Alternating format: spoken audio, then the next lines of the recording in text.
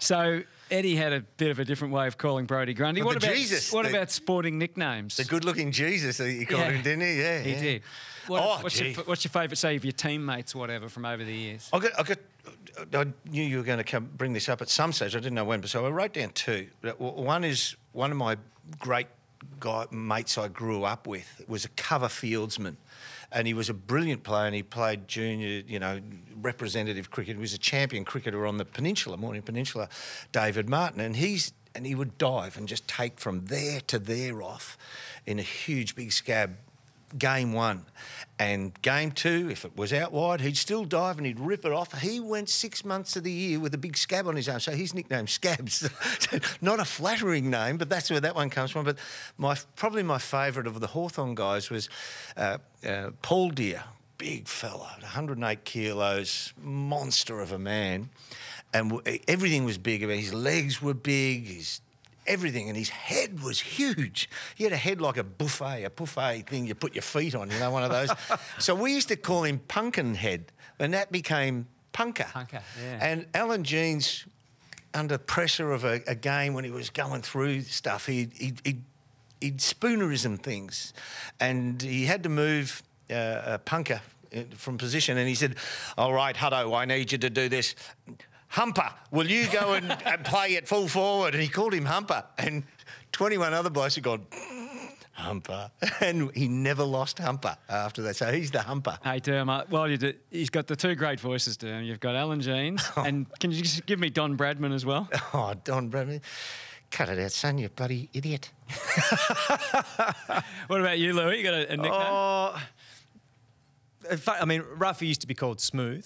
That, Right, That's a, yeah, that's yeah. that's not a, a long history. That was just is what it was. But Did he ever get called Orange?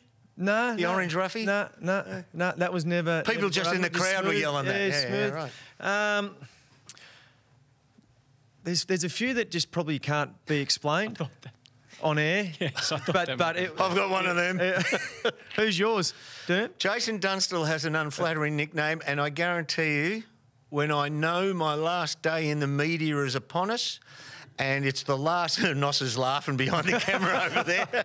When it's my last 15 minutes on air, I will tell you where Dunstall got his nickname from because they'll march me out of here forever when I do. Who knows So you've got a couple that oh, can't be told as well. You've got about 25 years left in the media, 30 years. But but when you when you asked me, I start I started to do a little bit of research. But so not people that I've known, but there's a few that I don't.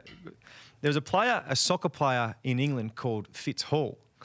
His nickname was One Size. Uh, One size good, fits all. And then Mark Waugh early on in his career. This is the well well known one, Afghanistan, the Forgotten War, Yeah. which was Which was I'm not sure that funny he ever early on in actually got career. called, but it was a it was a great. Uh, I'm believing it. yeah, that's right. Well, Bob did it. Bob Murphy did a list on on SEN a couple of years ago. I'm like you, I looked it up, but he, here's here's five from his: lacquer, as in a lack of brains.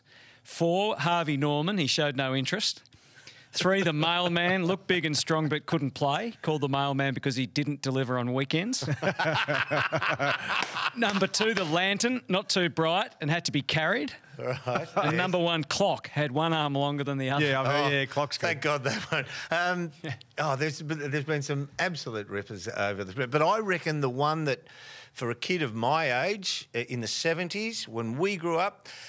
There were some nicknames like Fabulous Phil and that, the great nicknames, and Lou Richards gave Mm. most of the Galloping Gasometer. The one nickname which has trans- transgressed all the eras, all the decades, when you're just say in league football, cowboy. Cowboy, Yeah. yeah. Everybody knows. Kevin Neale. Yeah, Cowboy Kevin Neale. Well, Yeah, sp- what a great man too. Spent a lot of time, obviously, calling footy with Rex, and his nicknames were just part of the whole thing, wasn't it? But they, they come off the top of his head. Kuda wouldn't Fighter um, oh, there was Presta so- Giacomo. Presta Giacomo, yeah.